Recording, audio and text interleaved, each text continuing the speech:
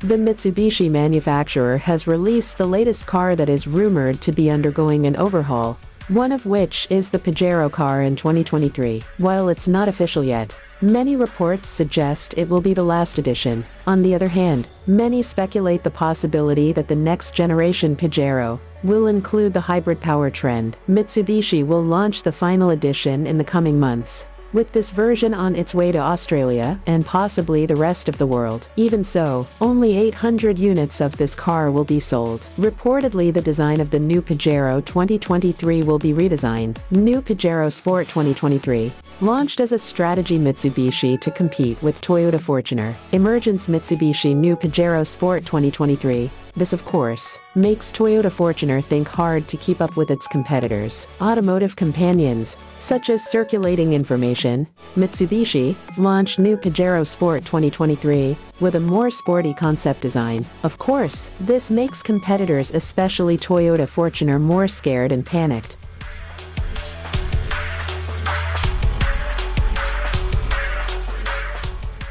Other news circulating also mentions that Mitsubishi new Pajero Sport 2023 will come with more advanced features than its opponent, namely Toyota Fortuner. Can a 4x4 SUV present a compelling case for ownership, when only two of its four wheels are actually driven? That's the question posed by the Mitsubishi Pajero Sport, along with other rivals in this segment like the Isuzu Mu-X and Ford Everest. All offer cheaper versions of their rugged, off-road capable, separate chassis SUVs, that ditch often complex four-wheel drive systems in favor of simpler, cheaper rear drive layouts. And it seems ample buyers are responding with an emphatic yes. But it does raise a bunch of questions and demand that you properly consider your real-world usage before making what is, at the guts of it, a budget-led decision on a likely long-term purchase. After all, the Pajero Sport, which shares its engine, transmission and much of its platform with the Triton Ute, has been engineered from the outset to be capable off-road. Its ground clearance, approach and departure angles and tire choice are all intended to enable it to tackle terrain too gnarly for most unibody SUVs.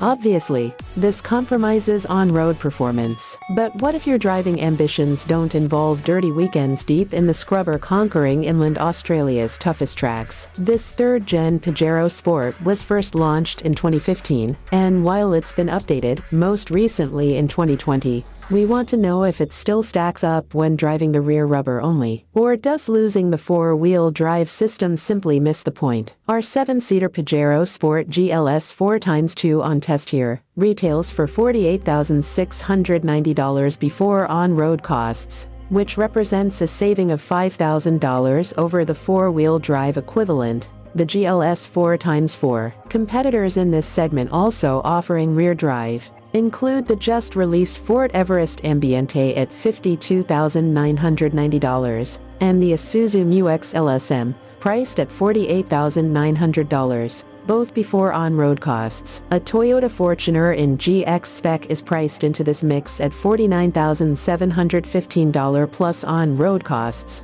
although it's four-wheel drive. The SsangYong Rexton, also four-wheel drive only, trumps all of these for standard equipment and is keenly priced from $48k drive away. That's life as a challenger brand for you.